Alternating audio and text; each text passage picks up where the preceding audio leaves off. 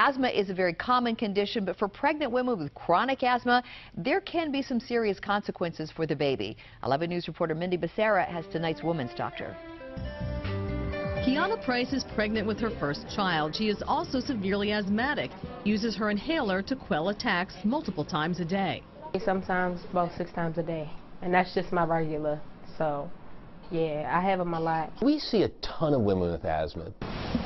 Mercy Medical Center OBGYN Dr. Robert Atlas says women with chronic asthma, like Kiana, are at an increased risk of complications with the baby. Women who have chronic asthma, people who are on multiple medications, those are the women we worry about for fetal growth and other abnormalities.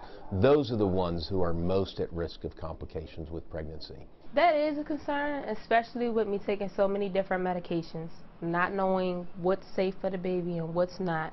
Mercy Medical Center pulmonologist Dr. Albert Polito says it's important for asthmatic mothers to be to know the benefits of the medication outweigh any risk. Asthmatics can have low oxygen levels that can damage the baby in utero and it has been shown time and time again in many, many studies that the benefits of the medications that we use to control asthma and keep it from flaring up during the pregnancy far outweigh any risks associated with the medications.